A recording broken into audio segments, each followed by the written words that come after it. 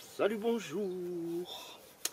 Alors aujourd'hui, on va tenter de faire un chapati, un pain à la poêle, une galette de pain, on appelle ça comme on veut, on s'en fout, on va tenter un truc. Je vais avoir besoin de farine, donc il n'y a pas besoin de beaucoup puisque c'est juste une galette. Euh, une petite gamelle dans laquelle je vais faire mon, mon mélange, un peu d'eau que je vais tiédir quand même légèrement. Et normalement ça suffit pour un chapati, sauf que moi je vais y ajouter un petit peu de levure boulangère. Il me faut également une cuillère en bois pour faire mon mélange. Et j'utiliserai euh, la poêle euh, qui est ici pour la cuisson. Voilà. Une fois que j'ai mis ma farine dedans, je vais pouvoir, alors dans un premier temps, la mélanger un petit peu, même si ça n'a pas grand intérêt, mais moi je le fais, l'air apparemment. Je vais ensuite y mettre la levure. Alors il faut pas mettre grand chose, hein, ça sert à rien. Je répète encore une fois, on est sur une petite galette. Donc, quelques grammes simplement. Un gramme, deux grammes. Par contre, moi je rajoute quelque chose, j'ai oublié de le dire dans mes ingrédients au départ. Ça, moi, j'adore ça. Ce sont des graines de pavot. Euh, je sais pas où, c'est ici, voilà. Donc je mets des graines de pavot dedans. Euh, c'est juste une gourmandise, il hein. n'y a, a, pas d'obligation du tout, du tout, du tout, du tout.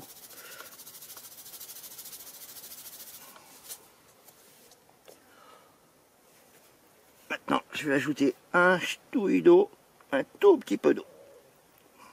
Pas plus, ça sert à rien pour l'instant. Et on va commencer le brassage.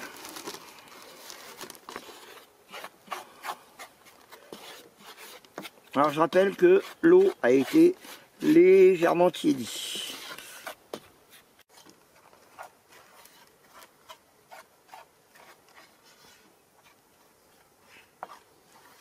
Avant, que de rajouter de l'eau et puis que ça devienne trop liquide, prenez le soin et le temps de bien malaxer parce que la farine un pouvoir de mouillage qu'on ne soupçonne pas. Et on pourrait croire des fois qu'elle est trop sèche, et puis il suffit de rajouter une goutte d'eau, et c'est mort.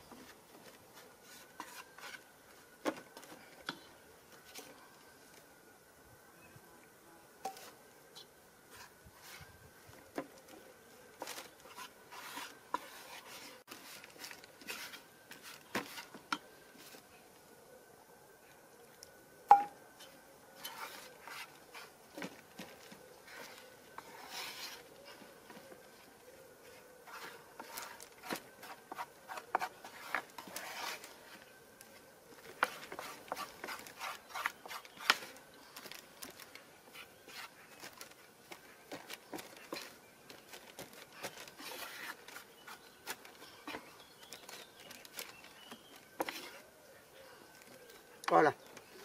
Une fois que la pâte a la consistance approximative que vous désirez, c'est-à-dire ni trop collante, ni trop sèche,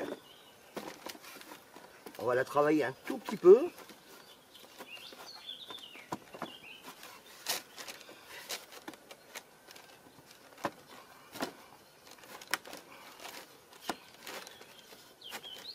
Voilà.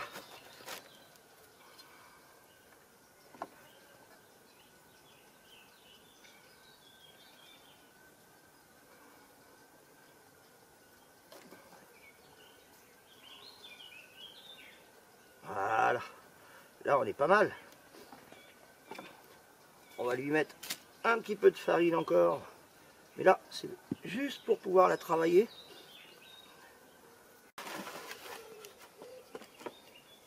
Il faut la travailler un petit peu de façon à avoir une pâte souple. Vous voyez, elle colle pas au doigt. Et voilà, et on la mélange en la repliant sur elle en permanence. Et ensuite, ça c'est ma façon de faire. hein. Moi, je la pose sur une planche à découper. Ben oui, dans les bois, on n'a pas vraiment de plan de travail. hein. Et voilà. Et je la travaille à la main.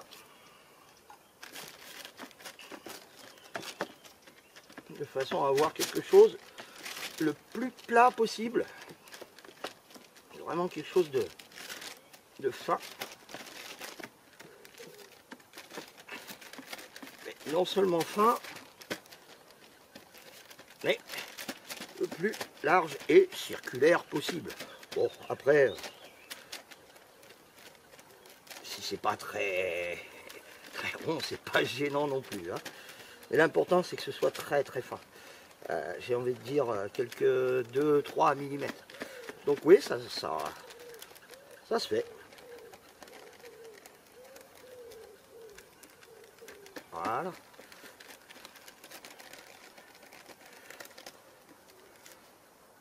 Là, on est pas mal, je pense.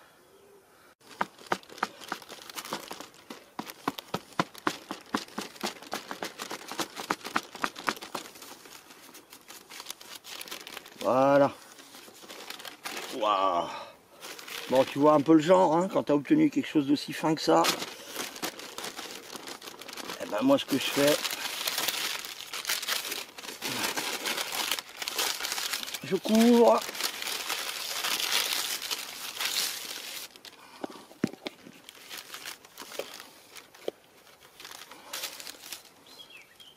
Voilà, comme ça. Et je laisse au soleil et je laisse reposer.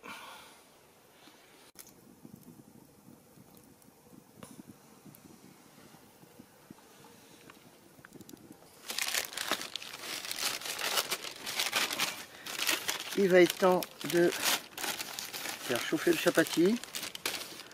Donc voilà comment je procède. Alors, la poêle sur, la flamme, pas d'huile, je la laisse bien bien chauffer. Et voilà. Et maintenant, je surveille. On va pouvoir commencer à voir des petites boules, qui, des petites bulles d'air qui se forment. Donc on fait attention de ne pas que ça n'accroche pas. Mais voilà.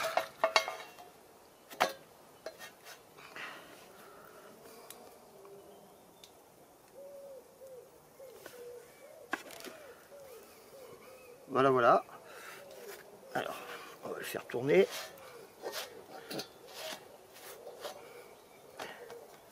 Et on est pas mal.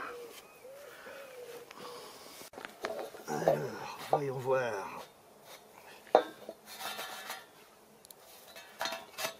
Oui. Eh ben, écoute, on est plutôt pas mal.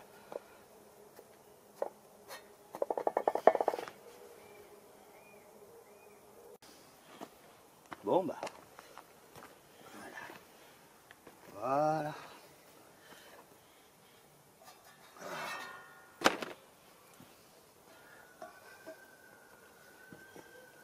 Voilà. La bête. Voilà, moi ce que j'aime bien dans le fait d'avoir mis de la, levure dedans, c'est que voilà, il n'est pas craquant, il est, il, se tient beaucoup mieux qu'un chapati. euh, c'est, là c'est chaud. Oh tiens, regarde. Hmm. Bon. Voilà, c'est ce que je disais. Beaucoup plus souple. Ok. Il me reste à préparer le reste du repas pour pouvoir le déguster correctement. Je vous dis à bientôt. Ciao.